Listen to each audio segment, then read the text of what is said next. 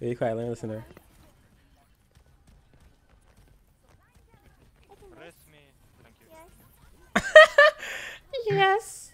Yes. Like, I wouldn't even have answered that nigga talking about res me. Yeah, your ass would have fucking got the whole Look, the game Orisa thrown. died because this Bastion. Yeah, he did, but actually because of Bastion. Orisa. Reporting for duty. Because this Bastion's like res me. Rosmer. Look at him. Look at him.